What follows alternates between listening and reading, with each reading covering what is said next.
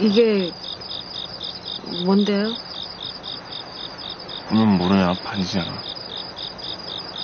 네? 한지연, 너 나랑 결혼하자.